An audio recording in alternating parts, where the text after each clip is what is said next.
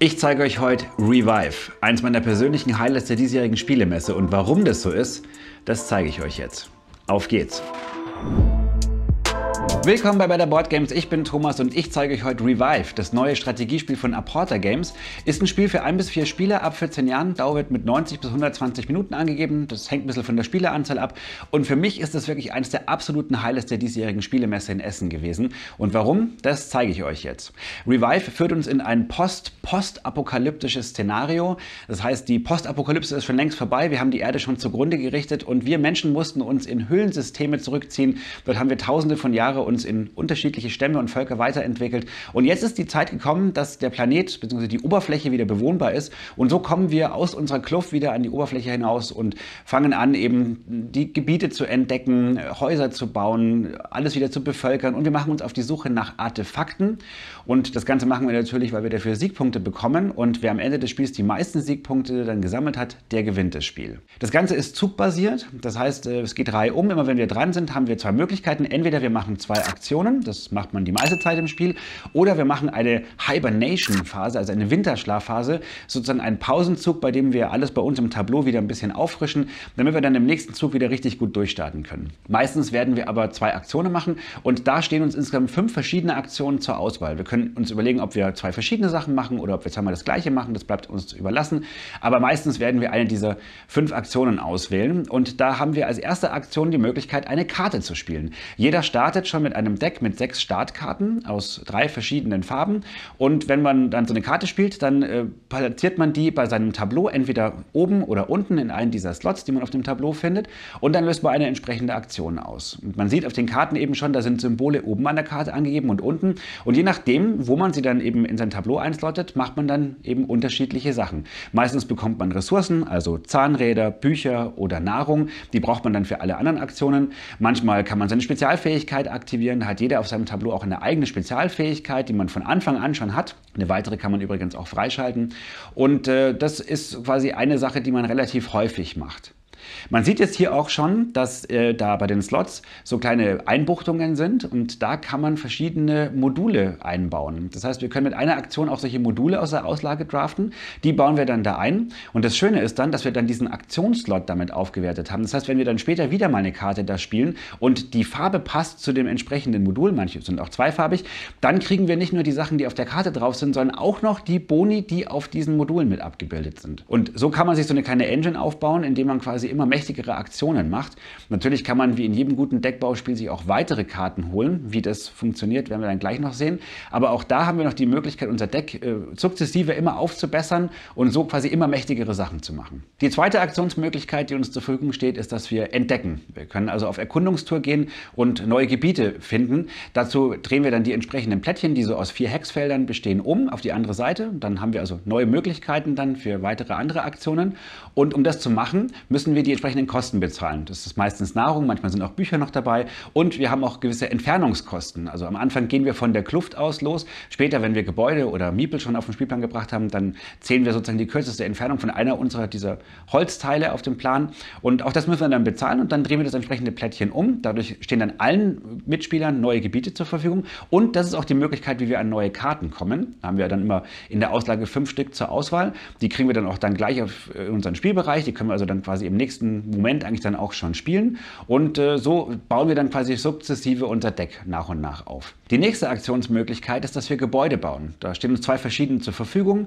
Die kleineren kosten drei Zahnräder, die größeren kosten fünf Zahnräder. Und die platzieren wir dann irgendwo auf dem Gebiet, müssen natürlich auch wieder die entsprechenden Entfernungskosten wieder bezahlen. Und das machen wir deswegen, weil wir dann alle umgrenzenden Hexfelder aktivieren. Das sind entweder so Wasserfelder, da gibt es unterschiedliche Boni, je nach Plättchen. Und dann gibt es aber auch die gelben, grünen und grauen Felder. Die ermöglichen es uns dann, dass wir auf den verschiedenen Techniktracks bei uns auf unserem Tableau voranschreiten. Und damit schalten wir wieder neue Felder frei, auf die wir dann Maschinenteile bauen können. Also immer wenn so ein kreisrundes Feld freigespielt wird, haben wir einen neuen Slot. Dann können wir eben aus drei verschiedenen Maschinen aus der Auslage eine aussuchen. Die können wir dann da drauf bauen. Und die ermöglichen es uns dann, freie Aktionen in unseren Zügen zu machen. Dazu haben wir diese kleinen Blitze. Am Anfang haben wir davon auch nur einen, können also pro, ähm, ja, sage ich mal, Runde, bis wir uns wieder auffrischen, nur einen dieser Blitze benutzen, also auch nur eine Maschine. Aber natürlich können wir uns in dem Spiel noch weitere Blitze holen und dann haben wir noch mehr Aktionsmöglichkeiten. Eine weitere Möglichkeit, wie wir also hier unsere Strategien entwickeln können und uns äh, je nachdem, was wir machen, in unterschiedliche Richtungen entwickeln. Die nächste Aktion ist die Bevölkerungsaktion. Da können wir diese kleinen Miepelchen von unserem Tableau aufs Spielbrett bringen. Und das machen wir zum einen, weil wir für jeden dieser Miepel dann am Ende des Spiels zwei Punkte bekommen. Wenn wir diese Randfelder erreichen, gibt es vier verschiedene ähm, Ortschaften, die auch je nach Partie neu äh, ausgelost werden, können wir uns auch bestimmte Siegbedingungen fürs Ende freischalten. Aber warum wir das eigentlich machen ist, das sieht man hier auch auf unserem Tableau, wir schalten uns damit wie auf so einem kleinen Mini-Tech-Tree neue Spezialfähigkeiten frei. Also jeder hat eine individuelle zweite Spezialfähigkeit, die man als allererstes freischaltet und dann hat man unterschiedliche Richtungen, die man sich weiterentwickeln kann. Da kriegen wir zum Beispiel auch einen fünften Slot, an dem wir dann später Karten anlegen können und viele andere Sachen auch. Es erlaubt uns auch unter anderem die Artefakte zu bekommen, die in dem Spiel ja relativ wichtig sind. Die gibt es auch noch äh, bei verschiedenen anderen Leisten, wenn wir da bestimmte Schritte absolviert haben. Und äh, die sind sehr, sehr wichtig dann für das Spielende, weil wir dafür dann sehr, sehr viele Siegpunkte bekommen. Und die lösen auch das Spielende aus. Also im Spiel zu vier zum Beispiel sind zwölf dieser Artefakte drin und sobald das zwölfte Artefakt äh, von jemandem genommen worden ist, äh, ist jeder andere nochmal dran und dann ist das Spiel auch zu Ende. Eine letzte Aktion habe ich euch noch unterschlagen. Die ist eigentlich relativ einfach, zumindest am Anfang, wenn man das Spiel auspackt. Nämlich gibt es so einen kleinen Schalter hier auf dem Tableau. Der ist auf grün geschaltet und wenn wir dann den nach unten ziehen, dann dürfen wir uns eine Ressource nehmen. Das klingt erstmal nicht mächtig, aber oft ist es genau die Ressource, die uns dann fehlt. Ähm, und im Laufe des Spiels gibt es dann auch noch andere Möglichkeiten, wie wir diesen Schalter benutzen können. Denn äh, da kommen wir später noch drauf, es ist eine kleine Kampagne auch noch mit in der Schachtel. Jetzt habe ich euch gesagt, was die fünf verschiedenen Aktionsmöglichkeiten sind und da machen wir eben zwei zwei davon immer Reihe um. Aber irgendwann haben wir alle unsere Karten gespielt, die Slots sind alle voll, wir haben irgendwie keine Blitze mehr und können irgendwie hier nichts mehr machen. Dann machen wir eine Hibernation, also einen Winterschlaf. Dann kriegen wir sozusagen alle Karten, die auf dem Ablagestapel sind, jetzt in unseren Spielbereich. Falls dann noch welche liegen, bleiben die übrigens auch da. Die Sachen aus den Slots wandern alle auf den Ablagestapel. Die Blitze gehen wieder von den Maschinen alle in die Mitte zurück. Ähm, wir gehen auf dem Hibernation-Track ein Feld nach vorne, kriegen noch einen coolen Bonus. Und wenn wir dann das nächste Mal wieder dran sind, dann haben wir quasi wieder alle möglichen Sachen Sachen in der Hand und können wieder so richtig loslegen. Das Spiel ist wie gesagt dann zu Ende, wenn zwölf Artefakte, im Spiel zu vier zumindest, bei drei Spielern sind es zehn Artefakte, zu zweit hat man nur acht Artefakte, damit das Spiel einigermaßen an die Spielerzahl angepasst ist. Äh, wenn die dann weg sind, dann wird gepunktet und wir gucken quasi, wer hat die meisten Siegpunkte erwirtschaftet. Viele bekommen wir schon während dem Spiel durch die unterschiedlichen Dinge, die wir hier machen. Am Ende gibt es dann nochmal ganz viele Punkte für äh, diese ganzen ähm, Fortschrittsplättchen, die wir uns freigeschaltet haben, also von unserem Spezialfähigkeitenbrett und auch von den äh, Slots, die die Maschinen vorher belegt haben. Dann kriegen wir, wie gesagt, für die ganzen Miepel-Punkte einmal äh, generell zwei Punkte für die, die wir auf den äh, Plan gebracht haben und dann auch für die entsprechenden äh, Ortsplättchen, die wir da besiedelt haben, die äh, auch bestimmte Bedingungen noch beinhalten. Aber das Wichtigste, einer der größten Punktefaktoren ist tatsächlich die Artefaktkarte, die am Anfang uns zugeteilt wird. Man man kann das Ganze auch draften, dann kriegt man am Anfang zwei und sucht sich eine aus. Und da ist quasi mit jeder dieser drei Artefaktfarben, also Grau, Gelb und Lila, eine Bedingung verknüpft. Zum Beispiel, du bekommst für jeden Blitz einen Siegpunkt am Ende des Spiels oder für jeden Miepel, den du auf den Spielplan gebracht hast. Und das bekommt man einmal generell schon, wenn man diese Karte irgendwie wertet, aber für jedes Artefakt dieser Farbe, was man gesammelt hat, kriegt man das Ganze nochmal. Also das ist eine Art Multiplikator. Da kann man richtig viele Punkte am Ende noch holen. Ich habe vorhin ja schon angedeutet, dass es auch eine Kampagne in dem Spiel gibt. Also da gibt es so einen kleinen Stapel von Karten, die man erstmal nicht anschauen soll. Und wenn man Bock auf die Kampagne hat, dann macht man den auf und liest sozusagen die Geschichte, gibt so ein bisschen Hintergründe. Und was sozusagen das Ziel der Kampagne ist, ist, dass man sich im Laufe von mehreren Szenarien dann noch weiteres Material freischaltet. Also es kommen neue ähm, Playerboards mit rein, die etwas komplexere Fähigkeiten haben. Dieser Switch, also dieser Schalter, kriegt noch eine etwas bessere Bedeutung und Funktion als einfach nur eine Ressource holen. Und es kommt kommt einfach insgesamt ein bisschen mehr Wiederspielwert rein. Was man nicht erwarten darf, ist jetzt irgendwie eine tiefgreifende, mitreißende, emotional aufwühlende Story. Ähm, das äh, kann der Kampagnenmodus jetzt nicht wirklich bieten. Ihr seht schon, ähm, ich äh, bin sehr begeistert von dem Spiel und das liegt daran, dass Revive ein wirklich belohnendes Spielerlebnis macht. Und zwar ist es Engine Building par excellence. Also Engine Building bedeutet, dass wir uns hier so eine äh, kleine Maschine aufbauen. Also durch die Sachen, die wir hier machen, entwickeln wir uns ständig weiter und können quasi im Laufe des Spiels immer coolere Sachen machen. Und das hier äh, ist Engine Building, wie ich selten so gut gesehen habe. Wir können hier wirklich alles upgraden. Wir können die Karten upgraden, wir können die Slots upgraden, wir können uns Maschinen hier bauen, wir schalten uns Technologien mit den Miepeln frei. Überall kriegen wir coole Sachen. In jedem Zug Zug entwickeln wir uns irgendwie weiter und machen coolere Sachen. Und das Schöne ist, ähm, und da muss man echt sagen, da haben die Designer auch wirklich gute Arbeit geleistet. Es ist so belohnend, dass auch in den Details man irgendwie immer wieder positiv überrascht wird. Wenn man zum Beispiel äh, diese neuen Module bekommt und die dann das erste Mal auf die Slots reinlegt, zumindest quasi bei, beim ersten Feld, dann bekommt man gleich sofort einmal den Bonus, damit man schon so ein Gefühl dafür kriegt, wie cool es dann später sein wird, wenn man diesen Bonus aktiviert mit den Karten.